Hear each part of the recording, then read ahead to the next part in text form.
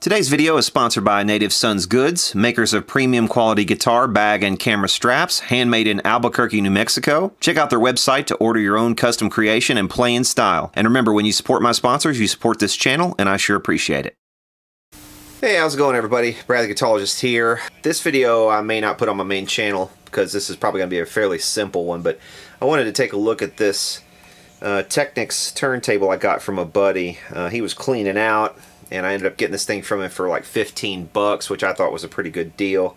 Uh, this is an upgrade over the other Technics that I bought at, um, I guess it was Goodwill that I showed on the channel not too long ago. It's a Technics turntable for, let's see, I don't know if you can see that or not, $7.99. So this is a model SLBD27 missing the dust cover lid also missing the stylus. So I've already ordered the stylus. It does work. It turns. Um, and it's got all the feet and everything intact as well. I've got another one of these Technics turntables where the feet are all broken and chewed up on it. So I might take parts off of that. I think that one has the dust cover, so I might make one uh, one good one out of the two. This one is a direct drive. It also has a standby for the uh, speed control. It also has uh, it also has the strobe for setting the speed. And this is an SLQD3 direct drive. Uh, this one also has a repeat feature that the other one did not have. So uh, that other one's going to be uh, moving along to someone else. I think I have it spoken for in another project. Um, so I need to dust this thing off and make sure it works. Uh, this is uh, this one's got a little better a little better cartridge in it too. This is a Shure Pro 8 cartridge where I, uh, the other one was um, the original Technics cartridge uh, where I had replaced the stylus. Now I'm not sure on the stylus. This thing might be this thing might be shot, but then again maybe it's okay. I'm not sure. Looking forward to checking this out, but as you can see it's just grimy and dirty and um, I don't even really know if it works properly. So we're going to check that out and see if it works. This also has uh, sensors uh, for whether you have a record on here um, and what size of record it is for the repeat function. So what it does is once it goes around, if you're if you have repeat on, how does it work? There you go. You see the little you see the little trigger that will pop up when it gets to a certain point to feel if there's a record and if there is a record it will tell the arm where to go and where to set down. So has a few more features than the other one. Uh, this one had some broken feet on it. And what I had to do was take the feet off the other one anyway because it was being installed in a, a hi-fi stereo so it was a good opportunity to use the feet from that. Uh, I used foam under the other one anyway because it needed to be covered uh, more thoroughly underneath it. Um, so basically they'll be getting a turntable without feet but um, that gives me a couple of extra ones in case these go again and I'll show you what they look like. Here's what here's what the feet look like. They're basically just a piece of rubber um, for isolation and it has a spring here uh, for further isolation. That's good if you don't want your bass notes coming through um, feeding back through your stylus uh, but yeah I've got got a trusty rag here. I'm going to clean this thing up and then we'll plug it in and see uh, if it actually works.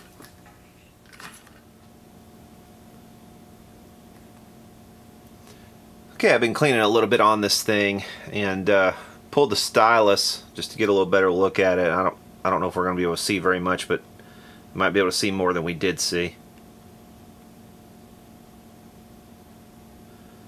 Fairly dirty. Okay, so that might be about as good of a shot as we're going to get of it. And I really don't know enough about styli to know what's uh, what's in good shape and what isn't by looking at it. Maybe there are some people who could tell me.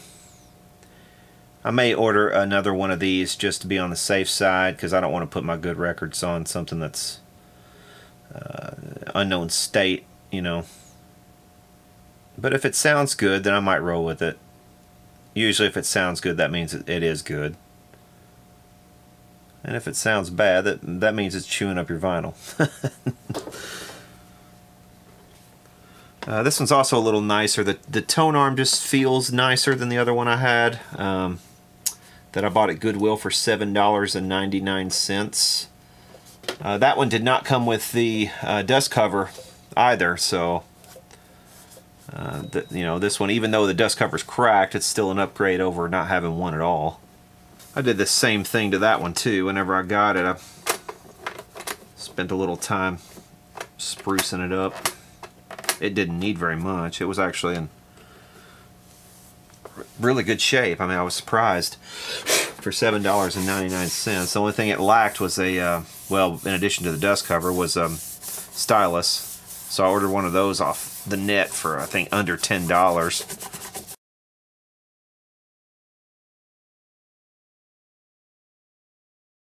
So I think all in all I had about, you know, $18 or something in that thing. Because of the resurgence in vinyl, some of the some of the nicer ones are getting out of hand. I guess it's kind of always been that way with audiophile equipment, but you know, I'm not going to go spending huge amounts of money on something like this. I just I need a daily player for this room. I've taken some time lately and set up my uh, a little stereo system in here. I, I bought some Bought some of those uh, Roland Cube little speakers, amplified monitors. And I've got those on a couple of stands. I'll show you those later. Dug some of my other stuff out of the garage. I've got my I've got my Technics cassette hooked up. Uh, the other room I've got my CD player, my 100 disc CD changer, which I might actually move into here because I spend more time in here.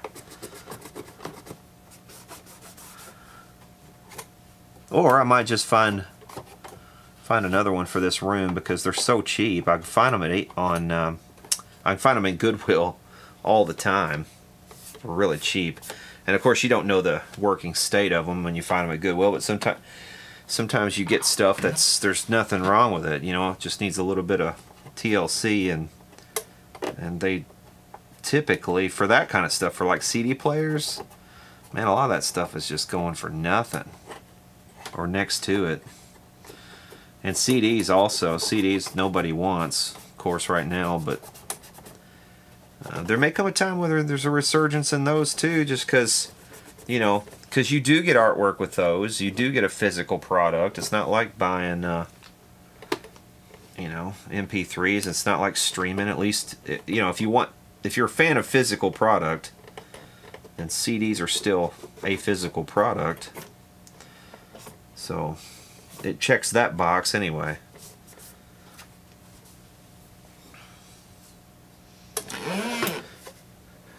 This one seems to be a little more adjustable uh, on the tracking as well. There's a setting here for 1.5, 1.25, and 1.0. I'll show you what I mean.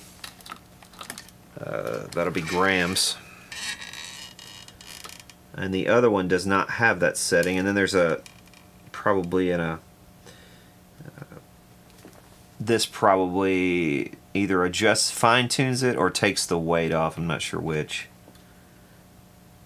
But that should be correct from the factory. At least that's what it says right there. So it should be adjusted to 1.25 grams for maximum anti-skating and correct tracking force.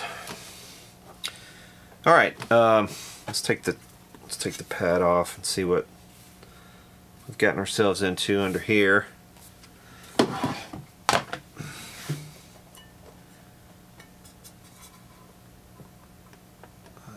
Should just come right up if I can find the spot. There we go. Actually, that seems pretty clean. This will be the brake, I believe. Or no, that's the uh, that triggers that triggers these feelers.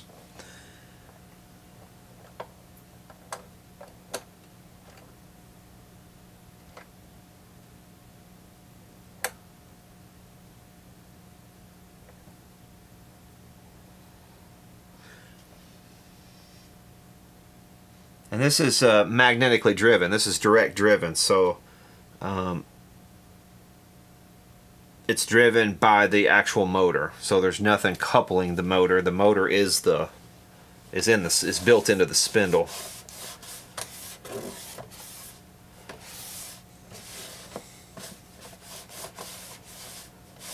At least I think that's how this one works. Actually, on some Technics turntables, that is how it works. But on this one, as you can see, this thing has a worm gear that's attached to the DC motor. That worm gear uh, spins another gear, which looks like it spins yet another main gear. Uh, so I don't know if this could really be technically called a direct drive turntable or not. Here you see a little closer up picture of the DC motor and its worm gear. And you also see the little gear that it turns. Uh, so, you know, whether this is a direct drive, um, I guess, is a matter of debate.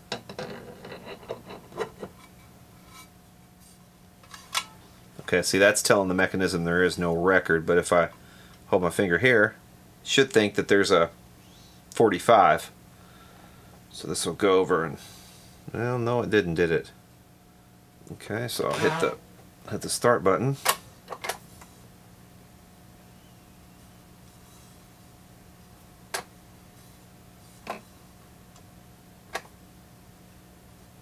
Um, so if I hold both these down, it should believe there's a 12 inch record.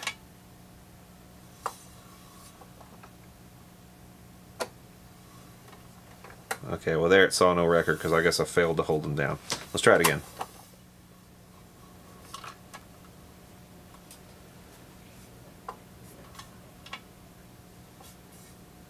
Yeah. Okay, so there it thinks there's a it thinks there's a 12 inch record and I have the queuing on so it won't drop. Let's try it with a 45.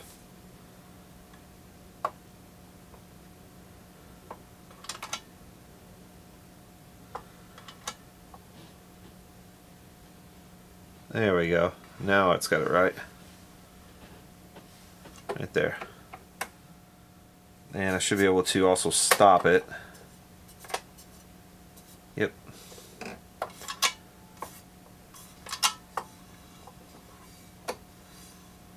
Okay, so the functioning actually looks like it works. Uh, let's go ahead and get um, power plugged into it and see if it actually works. Yeah, so here's the dust cover, and you can see it's got a big it's got a crack here that looks like it was dropped maybe started here and cracked it this way or somebody sat on it I don't know but uh, it's seen better days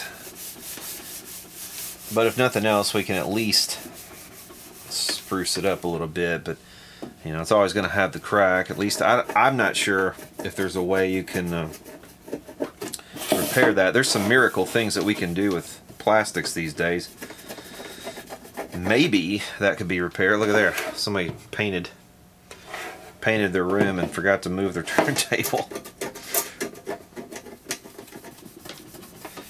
yeah, I just wish I knew uh, if there was some method. I might I might Google this later and see if anyone has tried anything to fix stuff like this because it would be nice to uh, it would be nice to be able to kind of fuse those pieces back together. I wonder if heat gun would just destroy it. I'm sure it would, but I, it's just wishful thinking that I could fix this crack. I've never, I've never known anybody to fix anything on plastic like this before, but it would just be, it would be neat to know if anyone has any experience with trying to fix or at least stabilize cracks like this so that they didn't, you know, if they didn't extend and break pieces off further. Because if this crack extends down all the way to the base here, then this whole thing will start, you know, coming apart which I definitely don't need. So it'd be nice to be able to stop it right there if nothing else. Um, so yeah, if anybody knows any methods or anything to do with this, whether it involves heat or my, my soldering iron, maybe I could, or even drilling it out, I probably could drill it out and stop the cracking. Yeah, see there's the cracks just kind of continue this way. And there's another one that's continued sort of this way and one there.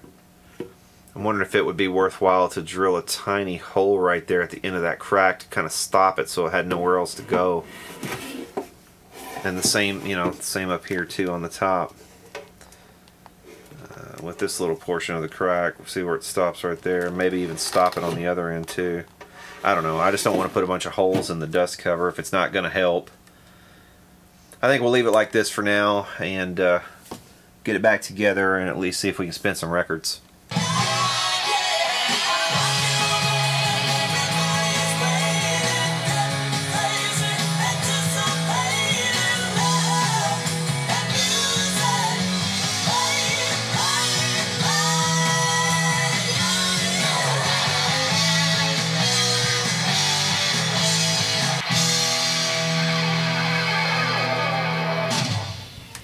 Alright, so that's it. Thanks for watching.